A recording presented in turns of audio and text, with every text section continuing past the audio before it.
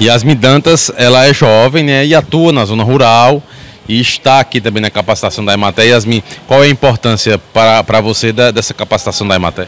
É, a gente tem essa dificuldade, como jovem rural, de buscar esse conhecimento. Ainda é muito difícil a gente chegar num ambiente desse e tirar as nossas dúvidas. E hoje a Ematé proporcionou esse projeto e, e e esse evento para nós jovens rurais. Isso é muito importante, é necessário a gente entender que isso aqui, no desenvolvimento da nossa agricultura familiar, é, ela vem a, a adquirir melhor conhecimento, adquirir melhor desenvolvimento para nós como jovem e trazer esse conhecimento para as pessoas da nossa família e vizinhos que cercam a gente, que querem tirar as dúvidas também. Qual é a sua atuação na zona rural, por exemplo? É, meu pai é agricultor, eu sou feirante, eu vendo em feira, vendo queijo e eu comecei agora a vender mamão produzido pelo meu pai.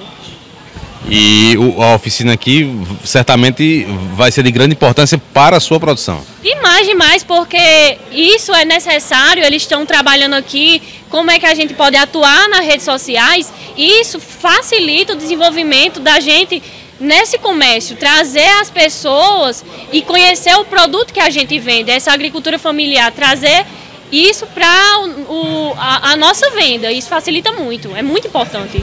Além disso, você pode agregar a sua venda das redes sociais, vender também pela rede social, por que não? A gente, a gente começamos, antes a gente não tinha rede social, rede social como eu venho sempre tive um, esse, nesse meio da comunicação, não muito ativa, mas eu fiz um Instagram para os produtos da minha família, é, faço a divulgação no meu Instagram também, comecei na, nas feiras divulgando, ah gente, vou estar em tal feira, venham ver os nossos produtos e tal. E isso aqui é muito, é muito necessário, porque eu não tenho todo o conhecimento, e busca de conhecimento sempre é necessário. E você é de uma geração que está na zona rural, né? Quais são as principais dificuldades para um jovem hoje em dia estar na zona rural? É, a gente ainda tem muito é, o tabu que a zona rural não vai dar nada para, é, é, não vai entregar nada para a gente, sabe?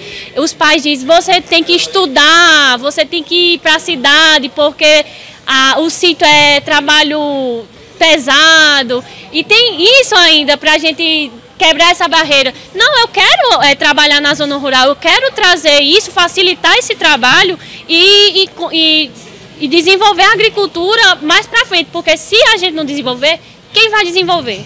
E eles trabalham isso nesse, nesse evento. Eles trazem é, esse, essa fala para a gente jovem. Tem, tem que ter essa continuidade. Yasmin, parabéns pela iniciativa e obrigado. Obrigada a você, um bom dia.